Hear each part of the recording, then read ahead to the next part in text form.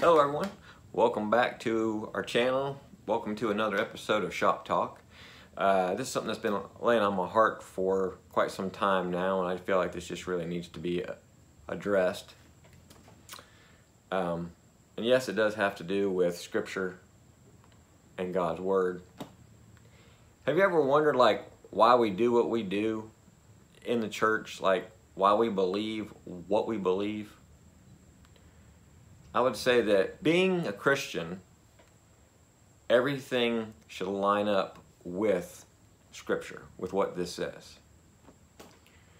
Most assume, including myself at one point, most assume that, that what the pastor or preachers are teaching and what the church is doing is truth. But in reality, we need to check it. We need to be like the Bereans and examine the scriptures and what we are being taught because that's what they did. Because Paul and Silas went to a Jewish synagogue in Berea. And in Acts 17:11, this is what it says. Now these Jews were more noble than those in Thessalonica we received the word with all eagerness, examining the scriptures daily to see if these things were so. So you could see that Paul and Silas went to the synagogue and were preaching and teaching, and these Bereans were going back daily and checking because they were eager to hear the word, but they wanted to make sure that what Paul and Silas were teaching was actually scripturally based. And if you're not looking at this, at what's being taught or what's going on, you'll just take it as blindly and just take it and just go along with it. When that's not what the Word of God says that we need to do. We need to dissect and make sure that what's that what's being taught to us and what's going on in the church and what's been passed down is actually coming from the Word of God. I'm not saying that like all pastors and teachers are purposely teaching false doctrine. That's that's not what I'm saying because I feel like uh, for most it's just what's been taught to them or something that's been passed down that they just assume. This way of thinking is a deception. Because we are not that not that we're being deceived because of what they're doing. We're being deceived by our own selves because we're not going in and reading it for ourselves and realizing that a lot of the stuff that is going on and being taught does not actually line up with what the Word of God says. I was sharing with a fellow Christian brother of mine one day. I was sharing all the things that I learned by just reading Scripture alone. And because he could not refute what I was saying to him, he went to the default. And what I mean by the default is he told me, he said, well, we need someone who's more educated or who's been to seminary school or has a college degree in order to understand these passages. Again, that is that way of thinking is a deception. Um, because the Word of God, that is not what it says. Because it, it because you do not need man to teach you. But that's what we're taught, right? Or that's what we just assume, like we can't understand everything because we haven't gone to a college. That's not how it was back in the early church. All we need is the Holy Spirit and the Word of God. 1 John 2, 2, 7. But the anointing that you received from him abides in you, and you have no need that anyone should teach you. But as his anointing teaches you about everything and is true and is no lie, just as it has taught you, abide in him. Again, we can see in scripture right there, we don't need man to teach us. Man is fallible. But the word of God and the Holy Spirit are infallible. And so if we go along with what man says and what's been passed down through false teaching and false doctrine and false stuff that's going on in the church, then we are being led astray. Here's my challenge to you. Put aside everything that you have been taught by man and other books I mean everything, including church traditions. Satan is called the father of lies and, and the great deceiver. He will put truth with a lie so that we assume that what is being taught is the whole truth because, well, it sounds right and it seems to fit it somewhat. But again, that's what he does.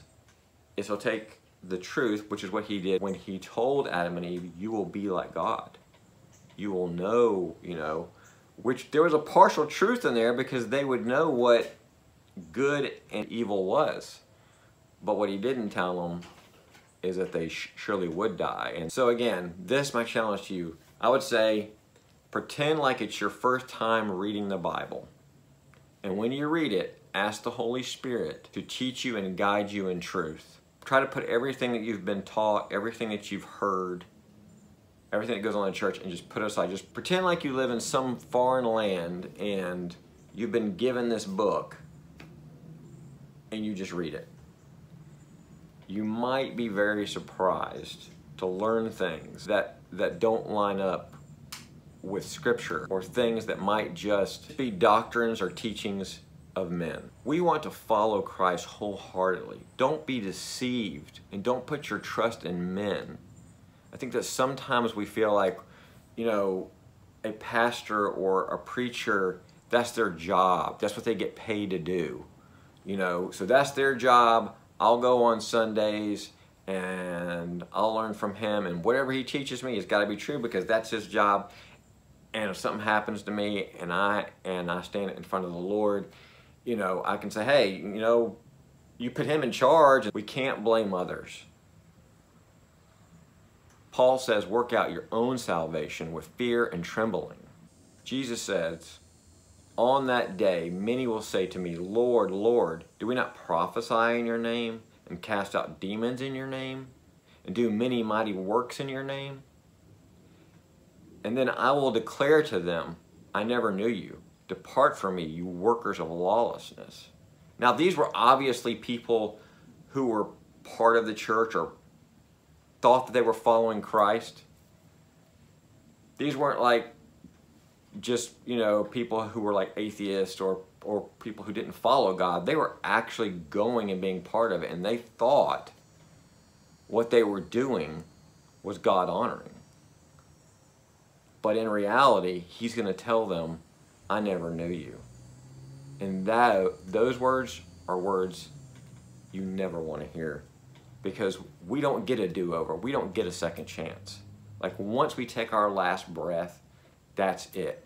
And we have no excuses. We can't blame other people. So again, my challenge to you is to pick up the Word of God and read it without any influence. I did this about a year ago. Actually, it's been over like a year ago. My wife has too. And then you start wondering like, well, that doesn't make sense because it's, this is what the church is doing. This is what I've heard.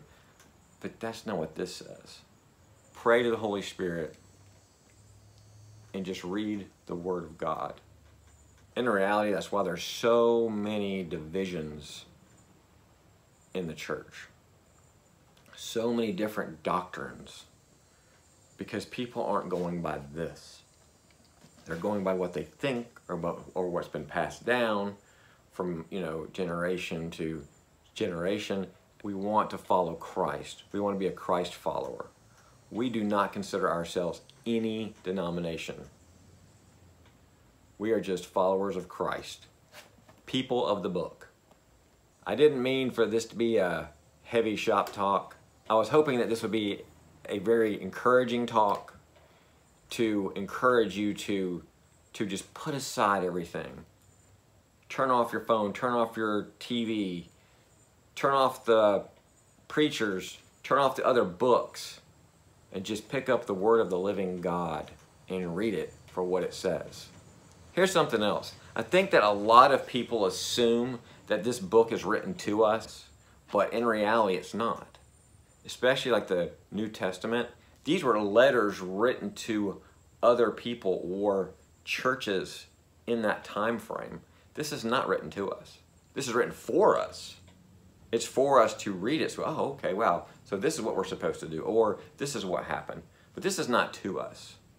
And a lot of people assume that this is to us, and so they want to place themselves into it or place their situation into it. And that's, again, that's not what this is for. This is for guidance and teaching. I like what I heard one time. It said that uh, Bible means uh, basic instructions before leaving earth. That cannot be a more true statement. Because again, these are the basic instructions as to how we're supposed to live, how we're supposed to treat others, how we're supposed to be, what, what we're supposed to accept in our life, what we're not. I hope that this video and this shop talk has been very encouraging. So thank you for joining me in this shop talk and look for more content that's going to be coming out. And so until next time, may the Lord bless you and keep you.